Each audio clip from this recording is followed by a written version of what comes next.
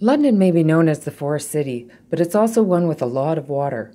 With the Thames River, Fanshawe Lake, and numerous creeks and streams, the London Police Service relies on the specialized, highly trained six person Marine unit to assist General Patrol officers when a call for help leads to the water's edge. The Marine unit is responsible for all of the waterways within the city limits.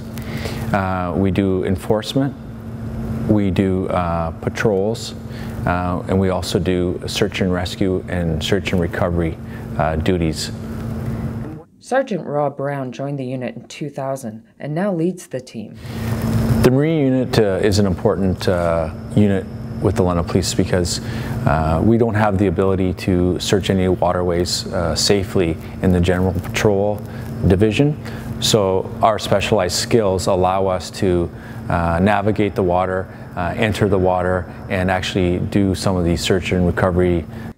The Marine unit has both a Zodiac Hurricane, equipped with sensitive sonar for underwater searching, and an Argo that can be used year round.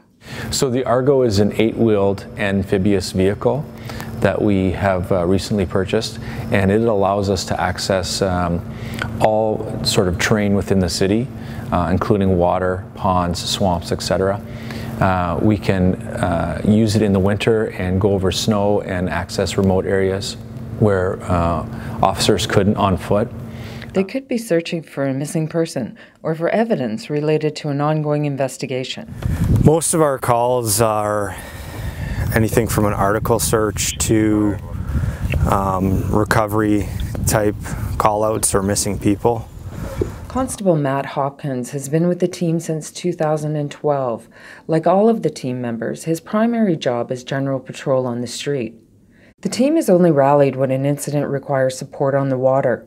And for Constable Hopkins, who made more than 130 water rescues while serving as a lifeguard in Grand Bend, it offers the chance to use a whole different skill set. Uh, you're interpreting the weather constantly. You are working with a very elite, skilled team to find articles or individuals in searches that is something that is very different when you're sitting in the police car and the team members undergo extensive training before joining and complete additional training each year. For most, it's the desire for an additional challenge and a love of the water that lead them to the unit.